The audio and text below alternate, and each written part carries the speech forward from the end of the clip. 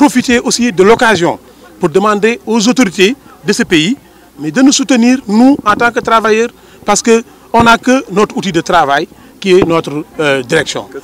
Vu l'état actuel euh, de la direction, seules les autorités étatiques euh, donc, peuvent nous aider à réhabiliter notre direction.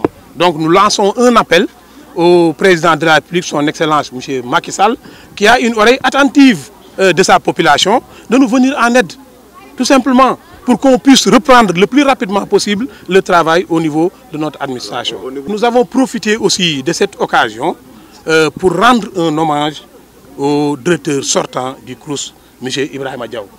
Parce que c'est notre collègue de service. Il est le premier, euh, le premier personnel administratif, technique et de service des universités à occuper ce poste de directeur du CRUS. Donc il était notre collègue. Nous l'avons soutenu pendant quatre ans, étant notre patron.